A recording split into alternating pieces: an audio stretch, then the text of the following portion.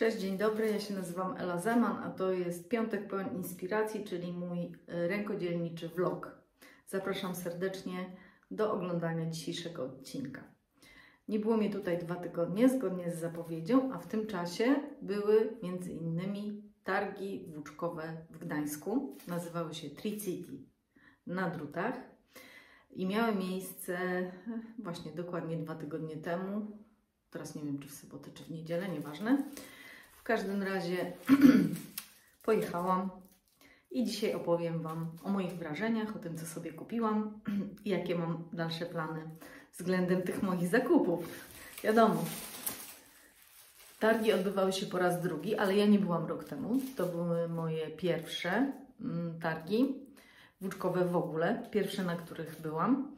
E, I one miały miejsce w takim biurowcu, w którym ja czasami bywam z innych powodów niż targi włóczkowe, więc pierwsze miłe zaskoczenie, że o, to była sobota, że w sobotę e, parking jest za darmo i są na nim wolne miejsca, hurra! Więc już pierwsze, pierwsza dobra rzecz, e, które, która mnie nastroiła pozytywnie do tego wydarzenia. Potem było trochę gorzej, bo trzeba było windą wjechać na 34 piętro, a ja nie jestem specjalnie e, zwolenniczką jeżdżenia windą. Taki mam jakiś niepokój w sobie, no ale dobra, dałam radę. No jak już dojechałam na miejsce, to moim oczom ukazał się taki dziewiarski raj. Było mnóstwo y, po prostu takich stanowisk, stoisk y, z włóczkami, z różnymi przydasiami, akcesoriami.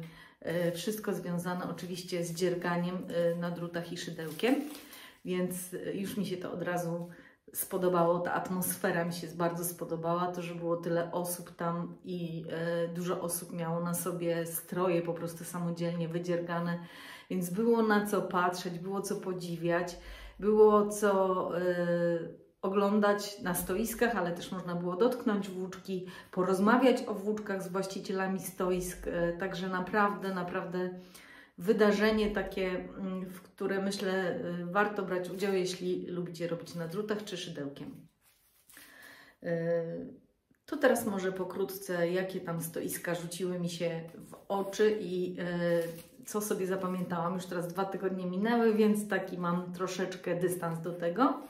Mogę o tym spokojnie opowiadać. Po pierwsze, było kilka stoisk z włóczkami farbowanymi ręcznie. Były to polskie firmy, które zajmują się profesjonalnym, y, ale ręcznym farbowaniem włóczek.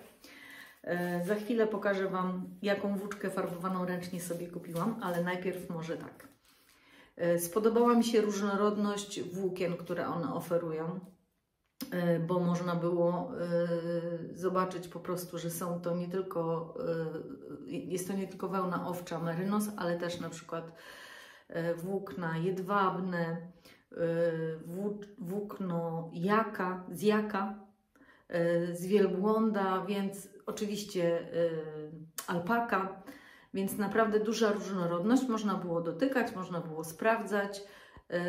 Osoby, które tam na tych stanowiskach, co ja z tymi stanowiskami dzisiaj, na tych stoiskach pracowały, były bardzo takie mm, chętne do tego, żeby opowiadać, żeby pokazywać, wszędzie też wisiały mm, na wieszaczkach ubrania, inne tam wyroby dziergane, zrobione właśnie z tych włóczek, więc można było sobie zobaczyć też, jak to wygląda, jak już się to udzierga. To dawało bardzo taki ciekawy efekt. Mm, bardzo mi się podobało, że można właśnie zobaczyć, jak w gotowym wyrobie układają, układają się kolory w takiej włóczce ręcznie farbowanej. E, więc bardzo, bardzo takie pozytywne wrażenie na mnie zrobiły te stoiska. Niektóre firmy znałam już szybciej z internetu, a o niektórych usłyszałam po raz pierwszy i e, bardzo mi się e, to spodobało, że mogę też poznać coś zupełnie, zupełnie nowego, o czym nawet nie miałam pojęcia, że istnieje. Także wybór był naprawdę e, duży tego typu włóczek. Są to oczywiście takie luksusowe wyroby, wiadomo, więc ceny takie dosyć wysokie, no ale dla jednego wysokie, dla drugiego niskie, a poza tym od czasu do czasu można sobie na taki luksus pozwolić. No i właśnie pokażę Wam, na jaki ja sobie luksus pozwoliłam, ale najpierw opowiem Wam historię, jak wybrałam taki szalony kolor. E, Jakiś czas temu pokazywałam Wam tę włóczkę. Dostałam ją od mojej siostry w prezencie. To jest włóczka e, niby skarpetkowa, to znaczy ja bym chyba nie chciała z niej zrobić skarpetek, bo mi by było szkoda, no taka ładna. Myślałam, że, że zrobię może jakąś chustkę, może szalik, coś takiego sobie wymyślałam. Bardzo mi się ten kolor podoba. To jest Madeleine, nie odważy się powiedzieć, Madeleine. Włóczka jest ze Stanów, więc u nas chyba takich w ogóle nie ma, ale ma taki e, skład i e, ilość e, po prostu typowej włóczki jakby skarpetkowej, czyli 420, a nie, przepraszam, 400 metrów e, w 100 gramach. E, no i jest właśnie też ręcznie farbowana. E, No i jak ja już tam byłam na tych targach, to sobie przypomniałam, że mam tę włóczkę w domu e, i postanowiłam, że dokupię po prostu jeszcze ze dwa motki czegoś, nie wiem, podobnego, pasującego, żeby mieć e, na coś większego. Żeby to nie było tak, że mam tylko jeden motek, ale żeby było właśnie tego więcej. Może, może uda mi się wtedy zrobić coś po prostu większego. No i spotkałam się z moją e, koleżanką, Karolą Dwóżnik, e, która prowadzi e, taki e, vlog, nie, kanał na YouTubie Koty na płoty. E, Możecie sobie tam zobaczyć, czym się Karola zajmuje i jakie ciekawe rzeczy opowiada. I przede wszystkim Karola jest artystką i ma świetne oko do kolorów, między innymi.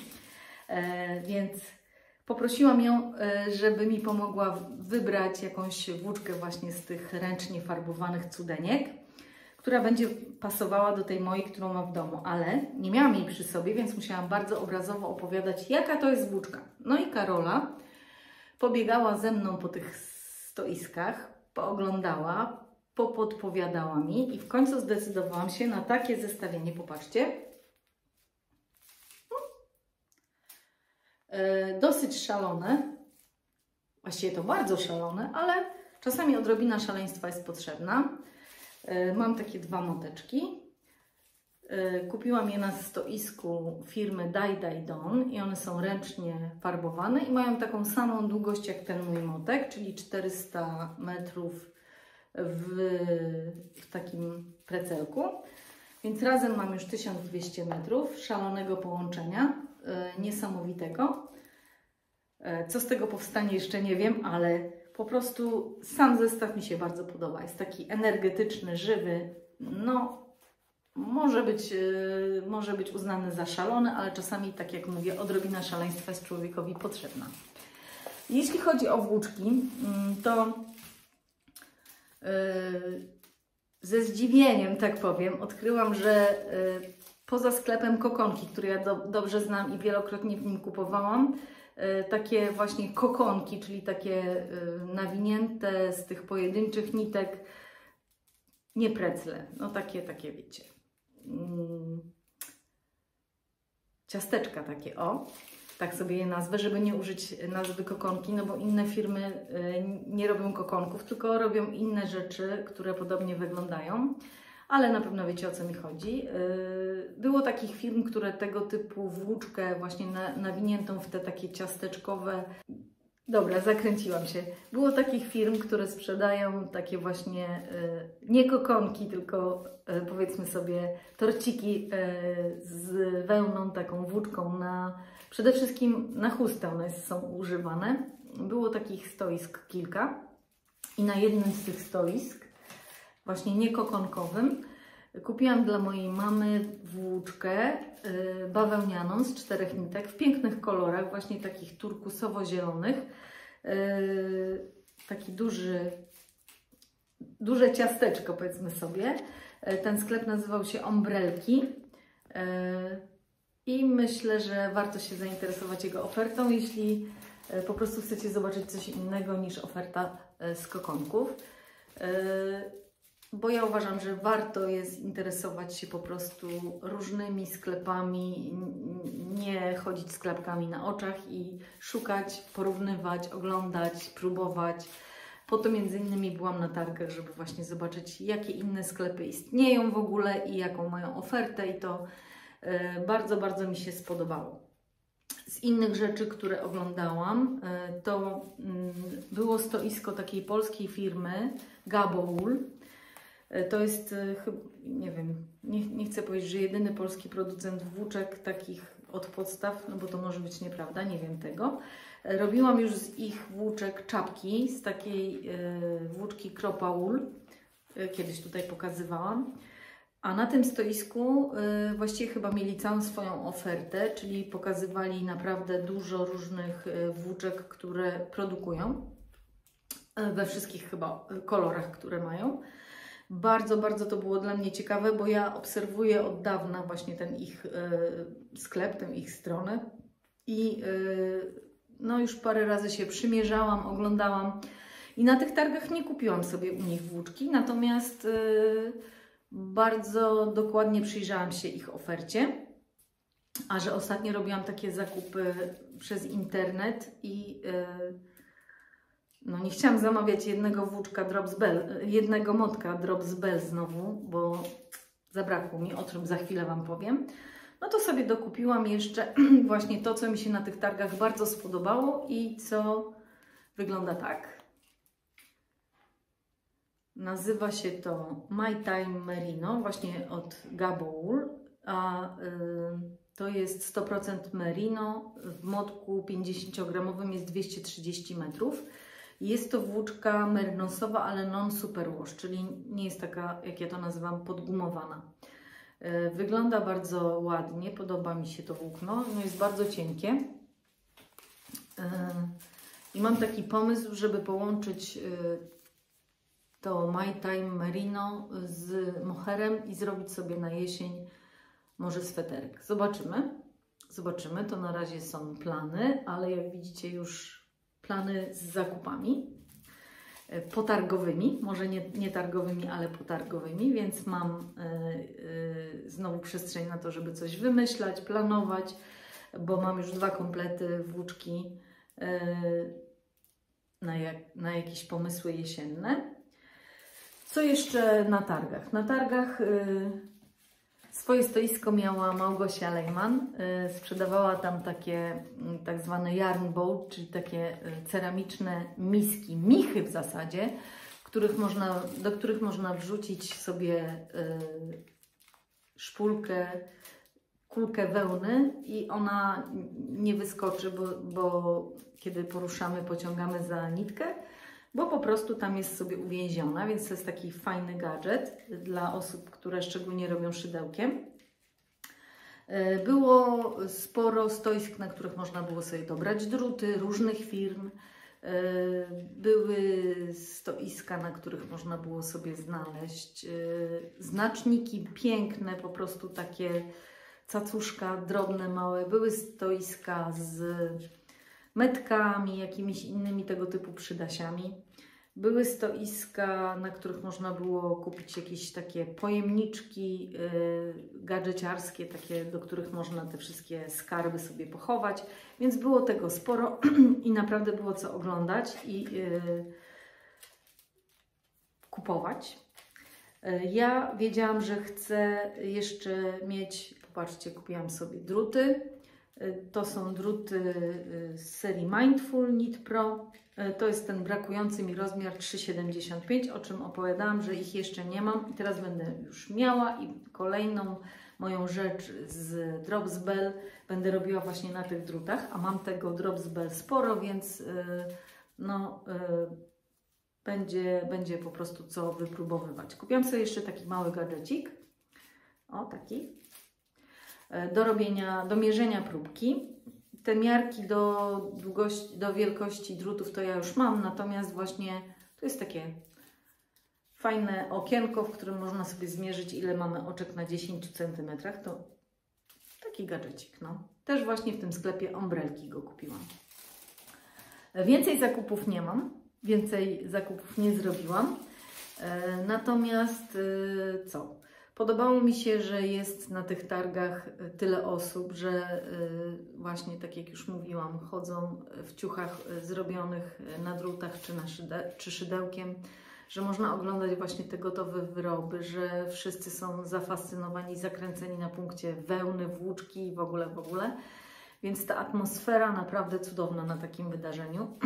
Jest mi bardzo miło e, że mogłam się spotkać ze wszystkimi osobami e, takimi właśnie zakręconymi na punkcie dziergania. Było mi bardzo miło, że zostałam rozpoznana kilkukrotnie i panie, koleżanki do mnie podchodziły. Bardzo mi miło z tego powodu. Bardzo serdecznie pozdrawiam, dziękuję za to. Było mi po prostu niesamowicie miło z tego powodu, że y, ktoś do mnie podchodzi i mówi: O, oglądam Twój kanał, cieszę się, że tutaj y, mogę Cię spotkać. Mi też, ja się też bardzo ucieszyłam i też mi było bardzo, bardzo miło. Chociaż nie ukrywam, że byłam tym zaskoczona, bo nie sądziłam, że mogę tutaj y, być jakoś tam rozpoznana. Ale najbardziej, słuchajcie, ucieszyło mnie takie spotkanie z panią. Przepraszam, nie wiem jak się nazywa ta pani, bo niestety Wstyd mi było zapytać, powiem Wam. Bo Pani powiedziała mi, że mnie zna i że spotkałyśmy się pewnie z 10 lat temu na takim dniu dziergania w miejscach publicznych i to było w Gdańsku pod Neptunem. E, ja rzeczywiście przypomniałam sobie, że chodziłam na takie wydarzenia, ale to było tak bardzo dawno temu, że ja już nie pamiętam w ogóle z kim tam byłam, z kim rozmawiałam, a pomimo tego pani mnie pamiętała, po tylu latach mnie rozpoznała było mi bardzo z tego powodu miło. Kiedyś powiedziałam e, w jednym z filmów, że głupoty powycinałam. Dzisiaj też będę musiała pewnie powycinać głupoty, bo wydaje mi się, że jestem taka jakaś rozkojarzona i nie wiem, czy to, co w ogóle mam dzisiaj Wam do powiedzenia, rzeczywiście yy, jest tego warte, żeby to nagrywać, krótko mówiąc. Ale no już yy, po prostu doszłam do wniosku, że dziergam teraz mało, y, wolno, więc tak naprawdę to za kilka dni nie będę miała dużo więcej do pokazania. Wiecie, ogród wzywa, pomidory mam nieposadzone, w ogóle mam dramat ogrodniczy jest u mnie. Mam nadzieję, że to na drobie weekend, ale chciałam Wam pokazać y, moją bluzeczkę właśnie z Drops Bell, która była pretekstem do kupienia kolejnej włóczki, ponieważ zabrakło mi moteczka. A mam już właściwie cały cały, cały, całą bluzkę wydzierganą, tak może jakoś pokażę. O, tu mam taki fajny bajer. Zobaczcie na boku. Nie wiem, czy to widać. Taka linia zaznaczająca bok. E, a na rękawkach sobie takie wymyśliłam e, ażurki. Rękawki są takie przed łokieć. E, wycięcie tutaj jest w serek, jeszcze jest nieobrobione, będzie tutaj wykończenie jeszcze. Został mi do zrobienia jeden rękawek. Mam nadzieję, że no jak już te pomidory posadzę, to usiądę i e, będę mogła skończyć ją, bo właśnie brakowało mi włóczki. E, zużyłam już 6 motków i musiałam dokupić e, po prostu ten kolor. Przypominam Wam, że ten kolor nazywa się bardzo ładnie krem miętowy. Nie wiem, kto wymyślił tę nazwę, ale musiał być, mieć więcej fantazji ode mnie, bo mi by nie przyszła do głowy taka nazwa, ale Kolor jest bardzo ładny, podoba mi się. Jest jeszcze jedna rzecz, którą mam na drutach. Tutaj niewiele przybyło, ale pokażę Wam. Robię taką parę skarpet. Nie do pary, to znaczy się tutaj kolory układają się dokładnie na odwrót. Włóczka to jest y, Arvetta z firmy Filcolana. Bardzo, bardzo miękka i miła włóczka skarpetkowa. Y, tu postęp jest mały, ale robię dwie skarpetki jednocześnie zaczynając od góry. Także to taka metoda, którą od niedawna stosuję przy robieniu skarpet i bardzo mi się podoba, bo nie trzeba liczyć rzędów, sprawdzać, czy jest dokładnie tyle samo, tylko leci się po prostu. Także na pewno obie skarpetki są identyczne. Jak jest błąd, to w dwóch taki sam. Więc bardzo fajna metoda. Oczywiście nie jest to taki sposób super łatwy na robienie skarpet, ale jak ktoś ma już wprawę, ileś tam par wydziergał innymi metodami, albo jest bardzo uparty i chce się nauczyć, to na pewno da radę. Myślę, że to jest y, no, po prostu taka y, dla mnie y, fajna odmiana po prostu w robieniu skarpet. Chciałam Wam jeszcze podziękować za wszystkie komentarze, za wszystkie porady, które znalazły się pod moimi poprzednimi filmami. E, były to naprawdę z tak różnych dziedzin i tak e, ciekawe e, porady, jeśli chodzi o włóczki, ale też na przykład o to, pisałyście mi też jak prać, wyroby właśnie z tego Drops Bell, że bierzecie w pralce, nic się z tym nie dzieje. Po prostu wystarczy taką bluzeczkę wrzucić w jakiś woreczek taki zamykany i można prać w pralce. Spróbuję, sprawdzę. Przekażę mojej siostrze, bo wiem, że ona raczej nie będzie chciała prać swojej bluzeczki, e, którą ode mnie dostała e, w ręku. E, Więc wszystko sprawdzę. Mm, Jest mi bardzo miło właśnie za te komentarze, za to, że chcecie ze mną wchodzić w takie interakcje. To jest bardzo, bardzo miłe. Już nie wspomnę o tym, że właśnie na targach również e, podchodziły do mnie osoby różne i mówiły, że znają mnie tutaj z YouTube'a. To jest naprawdę dla mnie niebywałe, bardzo miłe. E, No naprawdę dziękuję po prostu. Dziękuję serdecznie za to, że jesteście, że chcę Wam się pisać, że chcecie e, właśnie do mnie podchodzić i ze mną rozmawiać. Dobrze, to słuchajcie, chyba na dzisiaj tyle. Nie mam specjalnie właśnie co pokazywać. Nie będę przedłużać, nie lubię gadać o niczym. Także e, życzę Wam miłego weekendu. Dziękuję, że e, tutaj zechcieliście, zechciałyście wysłuchać mnie, e, pooglądać, co mam do powiedzenia. Następny mój vlog planuję za dwa tygodnie, więc serdecznie zapraszam już dzisiaj.